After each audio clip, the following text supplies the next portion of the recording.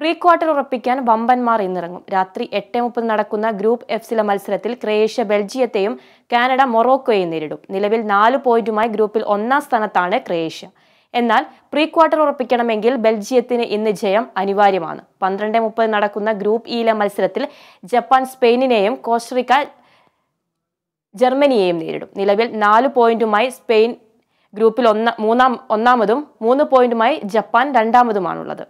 വിശദാംശങ്ങളുമായി സ്പോർട്സ് ഡെസ്കിൽ നിന്നും ഫിറോസ് നൂഫ് അതിനാ പറഞ്ഞോളൂ ചോദിച്ചോളൂ. ഫിറോസ് ലോകകപ്പിൽ ഇന്ന് വലിയൊരു നാല് മത്സരങ്ങളാണ് നടക്കുന്നത്. വമ്പന്മാർ ഇന്ന് കളത്തിലിറങ്ങുകയാണ്. എന്തൊക്കെയാണ് അവിടുത്തെ കൂടുതൽ വിശദാംശങ്ങൾ? അതിന് ഏറ്റവും രസകരമായി അല്ലെങ്കിൽ ഏറ്റവും പ്രധാനമായി പറയേണ്ടി വരുന്നത് ഇന്ന് മരണക്കളികളാണ് രണ്ട് ഗ്രൂപ്പിലും ഗ്രൂപ്പ് ഇയിലും ഗ്രൂപ്പ് എഫിലും. അപ്പോൾ നമുക്ക് ആ മരണക്കളികളെക്കുറിച്ച് വളരെ ആധികാരികമായി പറയാൻ ദാ ഇവിടെ അജി കുഞ്ഞുമോൻ. അജി കുഞ്ഞുമോൻ കുറച്ച് മുമ്പ് എടുത്ത് ചോദിച്ചുള്ളൂ ആരൊക്കെ തമ്മിലാണ് കളിയെന്ന്? അത് ഞാൻ പറയുന്നില്ല. ആ അപ്പോൾ അതുപോലെ നമ്മുടെ സ്പോർട്സ് ഡെസ്കിൽ നിന്നുള്ള പിന്നെ അമലുണ്ട്. അമൽ ഇവിടെ ആ അമൽ റെഡിയായി അവിടെ ഇരിപ്പുണ്ട്. അപ്പം നമുക്ക് ശരിക്കും നമ്മുടെ ഈ Kerala vision news twenty four into സെവന്റെ sports desk വലിയ ആവേശത്തിൽ ഇങ്ങനെ കാത്തിരിക്കുകയാണ്. കാരണം ഇന്നിറങ്ങുന്ന എട്ട് ടീമുകൾ എട്ട് ടീമുകളിൽ കാനഡ ഒഴിച്ച് കാനഡ ഒരു മത്സരവും ജയിച്ചില്ല ഒരു പോയിന്റും ഇല്ല. അതുകൊണ്ട് കാനഡ ഒഴിച്ച് ബാക്കിയുള്ള ഏഴ് ടീമുകൾക്കും നിർണായകമായ മത്സരം. ആർക്ക് വേണമെങ്കിലും പ്രീ ക്വാർട്ടറിലേക്ക് എത്താം എന്നുള്ള നോക്കൗട്ട് റൗണ്ടിലേക്ക് എത്താം എന്നുള്ളൊരു ഒരു സാഹചര്യം. അതുകൊണ്ട് തന്നെ രണ്ട് ഗ്രൂപ്പിലും ഗ്രൂപ്പ് ഇ എന്ന് പറഞ്ഞാൽ മരണ ഗ്രൂപ്പായിരുന്നു അത് അറിയാലോ അജി? മരണ ഗ്രൂപ്പ് എന്ന് വിശേഷിപ്പിക്കപ്പെട്ട ഗ്രൂപ്പ് ഇ അതായത് സ്പെയിനും ജർമ്മനിയും ജപ്പാനും ഒക്കെയുള്ള കോസ്റ്ററിക്കയും ഉള്ളൊരു ഗ്രൂപ്പ്. ആ ഗ്രൂപ്പിൽ ഇന്ന് നടക്കുന്ന മത്സരങ്ങൾ എന്നൊക്കെ പറഞ്ഞാൽ കണ്ണഞ്ചുന്ന മത്സരങ്ങളാണ്. അതിൽ തന്നെ ജർമ്മനി മുൻ ലോക ചാമ്പ്യന്മാരായ ജർമ്മനിയുടെ ഒരു അവസ്ഥ എന്ന് പറയുന്നത് ശരിക്കും ജയിച്ചാൽ പോലും പ്രീ ക്വാർട്ടറിൽ എത്താൻ പറ്റുമോ എന്ന് പറയാൻ കഴിയില്ല. കാരണം അടുത്ത മത്സരത്തിന്റെ കൂടി ഫലം അനുസരിച്ച് മാത്രമാണ് അവിടെ ജർമ്മനിയുടെ സാധ്യതകളുള്ളത്. ഒരു പോയിന്റ് മാത്രമാണ് ഇപ്പോഴും ഒരു സമനില സ്പെയിനുമായി സമനില പിടിച്ച ആ ഒരു പോയിന്റ് മാത്രമാണ് ജർമ്മനിക്കുള്ളത്. ജപ്പാനുമായി തോറ്റു.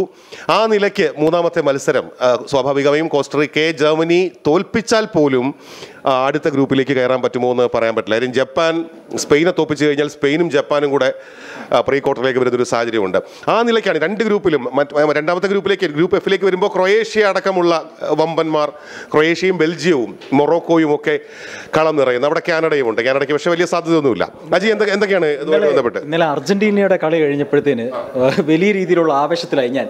അപ്പോൾ ഇന്നലെ രാവിലെ ഇവിടെ നിൽക്കുമ്പോഴും ഇവിടുന്ന് കുറേ ബ്രസീൽ ഫാൻസുകാരുണ്ട് ഈ ബ്രസീൽ ഫാൻസുകാരെല്ലാം നമ്മൾ തേച്ചൊട്ടിക്കുമായിരുന്നു പ്രത്യേകിച്ച് മെസ്സി എപ്പോഴും ഓഫ് സൈഡിലോട്ടാണ് ഗോൾ അടിക്കുന്നത്. അതുകൊണ്ട് തന്നെ മാത്രമല്ല ഇന്നലെ ഒരു കിക്ക് പാഴാക്കുകയും ചെയ്തു. മെസ്സിഹ അവതരിച്ചു എന്നൊക്കെ നമ്മൾ പറയുമ്പോഴും നല്ലൊരു കിക്ക് പാഴാക്കി കളഞ്ഞു. അതെ നമ്മൾ എത്രത്തോളം പറഞ്ഞാലും ഒരു മനുഷ്യനാണ് സ്വാഭാവികമായിട്ടും തെറ്റുകൾ പറ്റും. അതെ പെനാൽറ്റിയൊക്കെ അങ്ങനെ പാഴാക്കും. പക്ഷേ ഞങ്ങൾ ഇനി അടുത്ത കളികൾ ഇനിയും ഉണ്ട്. അപ്പോൾ അത് ആ കളികളിലൊക്കെ നമ്മൾ സ്വാഭാവികമായിട്ടും ഒരു വൻ മെസ്സിയുടെ ഒരു എന്താ പറയുക ശരിക്കുള്ള ഒരു അവതരിക്കൽ ഉണ്ടാകുമെന്ന് തന്നെയാണ് പ്രതീക്ഷിക്കുന്നത്. ഞങ്ങൾ ഫൈനലിൽ ഏറ്റുമുട്ടാൻ പോകുന്നത് അതെ. ഇന്നലെ. ഇന്നലെ അർജന്റീനയെ പുകഴ്ത്തിയൊന്നും പറയാൻ പറ്റില്ല. കാര്യം കളി പന്ത്രണ്ടരയ്ക്ക് ആയിരുന്നല്ലോ അതുകൊണ്ട് ഇന്ന് ഇതിനിടയിൽ ഇതിനിടയിൽ അർജന്റീനയുടെ ആരാധകൻ സംസാരിക്കുകയാണ്. അമലെ അമൽ എന്താ പറയുന്നേ? ആ- അതെ അതെ അതെ എങ്ങനെയുണ്ട് ഇന്നത്തെ കളികൾ നമുക്ക് നോക്കുമ്പോൾ എങ്ങനെയാ?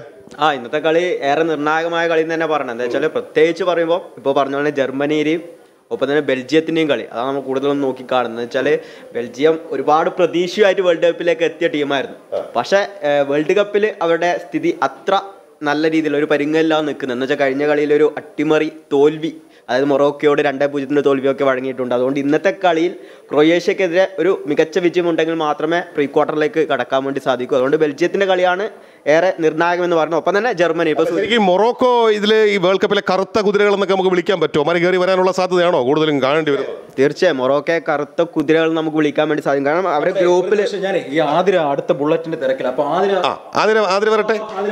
ആതിര വരവായി എന്നൊക്കെ പറയുന്നല്ലോ ആതിര വരട്ടെ. അല്ല ആതിര വേറൊരു കാര്യം കൂടിയുണ്ട് അതായത് ഈ വേൾഡ് കപ്പിൽ ആകെ ആറ് വനിതാ റഫറിമാർ ചരിത്രത്തിൽ തന്നെ വനിതാ റഫറിമാരുള്ള ആദ്യത്തെ വേൾഡ് കപ്പ് അതിൽ മൂന്ന് റഫറിമാരും ഇന്നിറങ്ങുകയാണ്. ഇന്ന് മത്സരം നിയന്ത്രിക്കാൻ ഈ മൂന്ന് റഫറിമാരും ഇറങ്ങുന്നു. അപ്പോൾ അതിനെക്കുറിച്ച് എന്താണ് അതിലേക്ക് അതിരുടെ അഭിപ്രായം? ചരിത്രപരമായ ഒരു മുഹൂർത്തമായിരിക്കും എന്ന് പറയാം. ആദ്യമായിട്ടാണ് ലോകകപ്പിൽ പുരുഷ ലോകകപ്പിൽ വനിതാ റഫറിമാർ അതും മൂന്ന് വനിതാ റഫറിമാർ ഒരുമിച്ച് മത്സരം നിയന്ത്രിക്കാൻ ഇറങ്ങുന്നത് എന്ന് പറയുമ്പോൾ ചരിത്രപരമായ ഒരു മുഹൂർത്തത്തിന് തന്നെയായിരിക്കും ഈ ലോകകപ്പ് സാക്ഷ്യം വഹിക്കാൻ പോകുന്നത് തന്നെ പറയേണ്ടി വരും. ഫുട്ബോൾ കളിക്കൂ? കളിക്കില്ല. ഹെഡ് ചെയ്യൂ. വേണ്ടല്ലേ? പേടിപ്പിക്കണ്ട അപ്പോൾ അങ്ങനെയൊക്കെയാണ്. താല്പര്യമുണ്ട്. അതെ അതെ അതെ. അത് ആദ്യം ഒന്നാമത് ആതിരയുടെ ആ ഒരു എനർജിയൊക്കെ വെച്ചിട്ടുള്ള ഹെഡർ ചിലപ്പോൾ നമ്മുടെ സിസ്റ്റംസ് താങ്ങില്ല എന്നുള്ളത് കൊണ്ടാണ്. ഗ്രൂപ്പ് എഫിലേക്ക് വരുമ്പോഴും ഇത് തന്നെയാണ്. ഗ്രൂപ്പ് എഫിൽ പക്ഷെ കാനഡ ഒഴിച്ച് കാനഡയ്ക്ക് നേരത്തെ പറഞ്ഞ പോലെ പോയിന്റുകളൊന്നുമില്ല ഗ്രൂപ്പ് എഫ് നമുക്ക് എങ്ങനെ നോക്കാം. അമലെ അതായത് ക്രൊയേഷ്യ അടങ്ങുന്ന ഗ്രൂപ്പ് ബെൽജിയത്തിന്റെ ക്രൊയേഷ്യ ബെൽജിയം അത്. തന്നെ ആ ഒരു മത്സരം തന്നെയാണ് ഏറെ നിർണായകമായ മത്സരം. ഒപ്പം തന്നെ കാനഡ മൊറോക്കോ. ഇപ്പം നേരത്തെ പറഞ്ഞ പോലെ തന്നെ കാനഡയ്ക്ക് ഇനി സാധ്യതകളില്ല. അവർ വേൾഡ് കപ്പിൽ നിന്ന് പുറത്തായ ടീമാണ്. അതുകൊണ്ട് അവർക്ക് ഈ മത്സരം ഒരു പിന്നെ വലിയ പ്രാധാന്യമില്ലാത്ത മത്സരമാണ്. പക്ഷേ മൊറോക്കോക്ക് വലിയ പ്രാധാന്യം ഉള്ളൊരു മത്സരമാണ്. പ്രത്യേകിച്ച് കഴിഞ്ഞ കളിയിൽ ബെൽജിയത്തിനോട് ഒരു വിജയം നേടി വരുന്ന ടീമിന് എന്തായാലും മികച്ചൊരു ഗോൾ ഡിഫറൻസിൽ ഇന്നത്തെ മത്സരം വിജയിക്കാൻ തന്നെ അവർ ശ്രമിക്കുക. ബെൽജിയം. കാര്യം ബെൽജിയത്തിന്റെ കാര്യം പറയുമ്പോൾ ഈ ബെൽജിയത്തിൽ വലിയ കലാപമൊക്കെ ആയിരുന്നു. രണ്ടാമത്തെ മത്സരം തോറ്റു മൊറോക്കോയോട് തോറ്റു എന്നൊക്കെ പറഞ്ഞിട്ട്. ലോകകപ്പിനേക്കാൾ ഇപ്പോൾ കൂടുതൽ വിലയിരുത്തുവാണെങ്കിൽ ചെറിയ ചെറിയ നമ്മൾ കുഞ്ഞൻ ടീമുകളെന്ന് വിശേഷിപ്പിക്കുന്ന ടീമുകളൊക്കെ ഇത്തവണ നല്ല കളിയായിരുന്നു. സൗദി അറേബ്യ ഈ പറഞ്ഞ കൊറേഷ്യ ജപ്പാൻ. ഈ ടീമുകളൊക്കെ നമ്മൾ നിസ്സാരമായിട്ട് കണ്ടു. ഈ ടീമുകളൊക്കെ വളരെ മനോഹരമായിട്ട് ഇത്തവണ കളിക്കുന്ന ഒരു ജപ്പാനാണ് നമ്മുടെ പ്രതീക്ഷ. ഇന്നിപ്പോ ജപ്പാൻ ആ, കളിയും കൂടെ ജയിച്ച് ഏഷ്യയുടെ പ്രതീക്ഷയായിട്ട് വേൾഡ് കപ്പിന്റെ പ്രീ ക്വാർട്ടറിലേക്ക് വരുമെന്നുള്ള വലിയ പ്രതീക്ഷയിലാണ്. പ്രതീക്ഷയ്ക്കാണ് പക്ഷേ കപ്പ് ഞങ്ങൾക്ക് അർജന്റീന. ഞങ്ങൾക്ക് പ്രീ ക്വാർട്ടർ വരെയെങ്കിലും എത്തിയാൽ മതി എന്നാണ് ജപ്പാന്റെ ആഗ്രഹം. അപ്പോൾ ആ നിലയ്ക്ക് ഇന്ന് ഈ മത്സരിക്കുക കളിക്കുന്ന എട്ട് ടീമുകളിൽ ഏഴ് ടീമുകളും ഏഴ് ടീമുകൾക്കും പ്രീ ക്വാർട്ടറിലേക്ക് വരാം. അതിനുള്ള സാധ്യതയുണ്ട്. അതുകൊണ്ട് തന്നെ അതിവാശിയേറിയ പോരാട്ടങ്ങൾ തന്നെ പ്രതീക്ഷിക്കാം. ഇപ്പോൾ എട്ടര മണിക്കാണ് ആദ്യത്തെ കളികൾ തുടങ്ങുന്നത്. അപ്പോൾ ആ കളികൾ ആ കളികൾ ഗ്രൂപ്പ് എഫിലെ കളികളല്ല? അതോ എഫ് എഫ് ക്രൊയേഷ്യയും ബെൽജിയവും മൊറോക്കോയും കാനഡയും എട്ട് മണിക്ക് എട്ടരയ്ക്ക് ഇറങ്ങുകയാണ്. അപ്പോൾ ഖത്തറിലെ സ്റ്റേഡിയങ്ങളിലേക്ക്. ഫിറോസ് എനിക്ക് ഒരു കാര്യം കൂടെ പറയാനുണ്ട്. നമ്മളിപ്പോൾ ഇത്ര നേരം അർജന്റീനയെ പറ്റി പറഞ്ഞു. നമുക്കൊരു ബ്രസീൽ ഫാനുകാരനെ കൂടെ വേണ്ടേ? അത് വേണം. ഉണ്ണി വാ, ഉണ്ണി നമ്മുടെ റൺഡൗൺ മാനേജറാണ് ആണ്. ഉണ്ണി നമ്മളിത്ര അർജന്റീനയെ പുകഴ്ത്തുമ്പോൾ അതെ. ഒരു ബ്രസീലിനെ പറ്റി ഒരു ചെറിയ അസ്വസ്ഥത ഉണ്ടാവുന്നുണ്ടെങ്കിൽ. ഉണ്ണിയുടെ അല്ല ലോറൻസ് ഏട്ടൻ ലോറൻസ് ഏട്ടൻ ചായ കുടിക്കാൻ പോയോ? ലോറൻസ് മുൻകൂർ ജാമ്യം എടുത്തു. മുൻകൂർ ജാമ്യം എടുത്ത് മുങ്ങിയതാണല്ലേ അത് ശരിയാ. ആ, ഉണ്ണി ഇപ്പം ബ്രസീലിനെ പറ്റി ഇനി പ്രത്യേകിച്ച് പറയാൻ എന്താണല്ലേ ബ്രസീൽ ഏതാണ്ട് ബ്രസീൽ പ്രീ ക്വാർട്ടർ കടന്നിരിക്കുകയാണ് നമ്മൾ അതെ അതെ. അർജന്റീനയുടെ കാര്യത്തിൽ മാത്രമായിരുന്നു സംശയം. അർജന്റീന ഇന്നലെ കടന്നു. അത് ഉണ്ണി പറയുന്നത് ഈ അർജന്റീന ജയിക്കണം എന്നാണ് ഞങ്ങളുടെ ആഗ്രഹം. കാരണം ഫൈനലിൽ ഞങ്ങൾക്ക് അവരെ വേണം. ഏ ഫൈനലിൽ കിട്ടണം. സ്വപ്നം മാത്രമാണ്. അതെ. അപ്പോൾ ആ നിലയ്ക്കാണ്. അപ്പോൾ ഇന്നലെയൊക്കെ ഏതായാലും അർജന്റീന ജയിക്കണമെന്ന് ആഗ്രഹിച്ച കുറച്ച് ബ്രസീൽ ആരാധകരുണ്ടായിരുന്നു ആ കൂട്ടത്തിലാണ് ഉണ്ണി. അപ്പോൾ അതിനെ കേൾക്കുന്നുണ്ടോ? ഞങ്ങൾ പറയുന്ന വിശേഷങ്ങളൊക്കെ. ഇവിടെ വലിയ ആവേശത്തിൽ എട്ടര മണിക്ക് കളി തുടങ്ങുന്നു. അത് ഒരേ സമയം ഗ്രൂപ്പ് എഫിലെ രണ്ട് കളികൾ ഒരേ സമയം നടക്കുന്നു. അതിൽ കാനഡ ഒഴിച്ച് ബാക്കി മൂന്ന് ടീമുകൾക്കും നിർണായകമാണ്. മൂന്ന് ടീമുകൾക്കും സാധ്യതയുണ്ട്. അവിടെ ഏതെങ്കിലും ഒരു ടീമിന് കൂടുതൽ സാധ്യത എന്ന് പറയാൻ പോലും പറ്റാത്തൊരു സാഹചര്യമാണ് ഗ്രൂപ്പ് എഫിൽ ഗ്രൂപ്പ് ഇ എന്ന് പറയുന്നത് വേൾഡ് കപ്പിൽ തന്നെ മരണ ഗ്രൂപ്പ് എന്ന് നമ്മൾ ആദ്യം തന്നെ വിശേഷിപ്പിക്കപ്പെട്ട ഗ്രൂപ്പ് ജർമ്മനിയും ജപ്പാനും സ്പെയിനും ഒക്കെയുള്ള ഗ്രൂപ്പ് അവിടെ സ്പെയിൻ ഒന്നാം സ്ഥാനത്തും ജർമ്മനി നാലാം സ്ഥാനത്തുമാണ് നിൽക്കുന്നത് എന്നും ശ്രദ്ധിക്കേണ്ടി വരുന്നു. ജയിച്ചാൽ പോലും ജർമ്മനിക്ക് ഫൈനൽ ക്ഷമിക്കണം. പ്രീ ക്വാർട്ടറിലേക്ക് എത്താനുള്ള സാധ്യത ഉണ്ടാകണമെന്നില്ല. രണ്ടാമത്തെ മത്സരത്തിന്റെ ഫലം കൂടി ആശ്രയിച്ചിരിക്കും. ജർമ്മനിയുടെ സാധ്യതകൾ മുൻ ലോക ചാമ്പ്യന്മാർക്ക് അങ്ങനെ ഒരു അവസ്ഥ. പക്ഷേ ഇന്ന് അതിഗംഭീരമായ കളി ജർമ്മനി കെട്ടഴിക്കുമെന്ന്. കാര്യം ജർമ്മനിക്ക് ലോകത്ത് ഒത്തിരി കേരളത്തിൽ തന്നെ ഒത്തിരി ആരാധകരുള്ള ഒരു ടീമാണ് സ്പെയിനിനെ പോലെ. ഇപ്പോൾ ബ്രസീലും അർജന്റീനയും കഴിഞ്ഞാൽ പോർച്ചുഗലും കഴിഞ്ഞാൽ പിന്നെ ഏറ്റവും കൂടുതൽ ആരാധകരുള്ള ടീമായിരിക്കും ജർമ്മനിയും സ്പെയിനും ഒക്കെ. അപ്പോൾ ജർമ്മനിയുടെ കൂടെ കളിക്കുന്ന ഒത്തിരി പേര് നമ്മുടെ കേരളത്തിലുണ്ട്. മീൻസ് ജർമ്മനിയുടെ മനസ്സുകൊണ്ട് ജർമ്മനിക്കൊപ്പം നിൽക്കുന്ന ഒപ്പം കളിക്കുന്ന ഒത്തിരി പേർ ഉണ്ട്.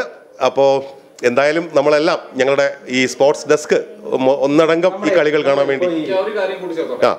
ഈ നമ്മൾ ഇന്നത്തെ ദിവസം എന്ന് പറഞ്ഞാൽ ചരിത്രം കൂടി കുറിക്കുകയാണ്. നേരത്തെ പറഞ്ഞിരുന്നു. ഈ ജർമ്മനി കോസ്റ്ററിക്ക മത്സരം നിയന്ത്രിക്കുന്നത് ജർമ്മനി കോസ്റ്ററിക്ക മത്സരം നിയന്ത്രിക്കുന്നത് വനിതാ റഫറിമാരാണ്. സ്റ്റെഫാനി ഫ്രപ്പാർട്ട് എന്ന് പറഞ്ഞൊരു റഫറിയാണ്. ഫ്രഞ്ച് റഫറിയാണ്. അവരാണ് ഇതിന് മുഖ്യ റഫറി എന്ന് പറയുന്നത്. അപ്പം ഈ മത്സരം നടക്കുമ്പോൾ നടക്കുമ്പോൾ തന്നെ ഈ നമ്മുടെ ലോകകപ്പ് പുതിയ ഒരു ചരിത്രം കൂടി സൃഷ്ടിക്കുകയാണ്. ഫിഫ ലോകകപ്പിൽ ആദ്യമായിട്ട് വനിതാ റഫറിമാർ കളി നിയന്ത്രിക്കുന്ന ഒരു സാഹചര്യം. അങ്ങനെ ഒരു കാര്യം കൂടിയുണ്ട്. നമ്മൾ നേരത്തെ നമ്മുടെ സ്പോർട്സ് ഡെസ്കിലെ പുലിയോട് വനിതാ പുലിയോട് നമ്മൾ അതിനെപ്പറ്റി ചോദിക്കുകയും ചെയ്തിരുന്നു. ഏതായാലും അങ്ങനെ അത്യധികം ആവേശകരമായ മത്സരങ്ങൾ ഒപ്പം ചരിത്രം പിറക്കുന്ന മുഹൂർത്തങ്ങളൊക്കെ. ഈ ക്യാമറയ്ക്ക് പിന്നിൽ നിൽക്കുന്നവരുടെ അഭിപ്രായം ചോദിക്കണ്ടേ? അത് നമുക്ക് ചോദിക്കാവുന്നതാണ്. പക്ഷേ ഇന്നത്തെ കളി ആരൊക്കെ തമ്മിലാണെന്ന് ചോദിക്കുമോ എന്നൊരു സംശയം. ആ രതീഷ്. രതീഷ് ഭായ് നമ്മുടെ ക്യാമറ ചീഫ്. രതീഷ് ഭായിയുടെ ഈ മുടിയൊക്കെ കാണുമ്പോൾ എനിക്ക് ഏതോ ഒരു ഫുട്ബോളറെയാണ് ഓർമ്മ വരുന്നത്. പെട്ടെന്ന് ഞാൻ പേരങ്ങ് മറന്നു എനിക്ക് ബേസിക്കലി ഫുട്ബോളിനെ കുറിച്ചൊന്നും അറിയില്ല. എന്നാലും ഞങ്ങൾക്കൊന്നും അറിയില്ല. എനിക്ക് ഈ പിന്നെ ചെറിയ ടീമുകളുണ്ടല്ലോ. വലിയ വലിയ ആൾക്കാരുള്ള ടീമുകൾ അട്ടിമറിക്കുന്ന ചെറിയ ടീമുകളുണ്ടല്ലോ. അവരെയാണ് എനിക്കിഷ്ടം. ശരിക്കും പറഞ്ഞു. ആരുടെ ശരിക്കും? മെസ്സി. മെസ്സി. മെസ്സി ഇഷ്ടപ്പെടാത്ത ആരാണുള്ളതല്ലേ? അതെ.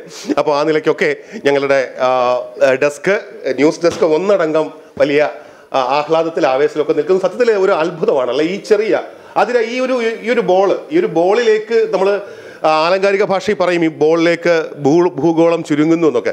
സത്യത്തിൽ ഇതിനെ ഇങ്ങനെ കൺട്രോൾ ചെയ്യുക എനിക്ക് കൺട്രോൾ ചെയ്യാൻ പറ്റില്ല. കഴിഞ്ഞ ദിവസം നമ്മുടെ ലൈവ് കണ്ടിട്ട് ബനേഷേട്ടൻ പറഞ്ഞു കേട്ടതാ നീ ഇങ്ങനെ ഹെഡൊക്കെ ചെയ്യുന്നുണ്ട് ബോളൊക്കെ പോയിട്ട് അങ്ങനെ ഇങ്ങനെ ഇങ്ങനെയൊക്കെ ചിലപ്പോൾ ലൈവിൽ നോക്കേണ്ടി വരുമോ എന്നൊക്കെ ചോദിക്കുന്നുണ്ടായിരുന്നു. അപ്പോൾ ഏതായാലും ഇതിനെ ഇങ്ങനെ കൺട്രോൾ ചെയ്യുക. അപ്പം പ്രത്യേകിച്ചും ഈ ഫ്രീ സ്റ്റൈൽ ഫുട്ബോളിന്റെ ഒരു കാലം കൂടിയാണ്.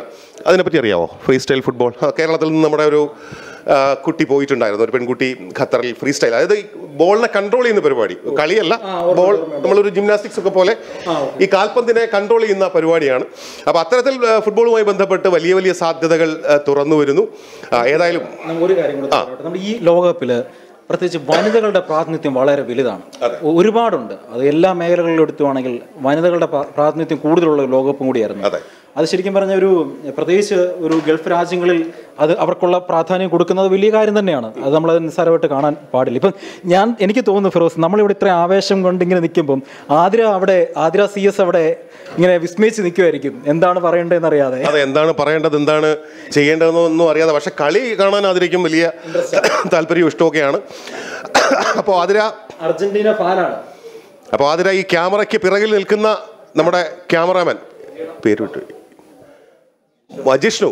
ജിഷ്ണു ഈ ബോൾ ഹെഡ് ചെയ്തില്ലെങ്കിലും പിടിക്കും എന്നുള്ള വിശ്വാസത്തോടെ ജിഷ്ണുവിന് ഈ ബോൾ ഹെഡ് ചെയ്ത് ഞാൻ ഞങ്ങളിപ്പം ഈ ഫുട്ബോൾ ആവേശത്തിൽ അങ്ങ് പങ്കുചേരുകയാണ്.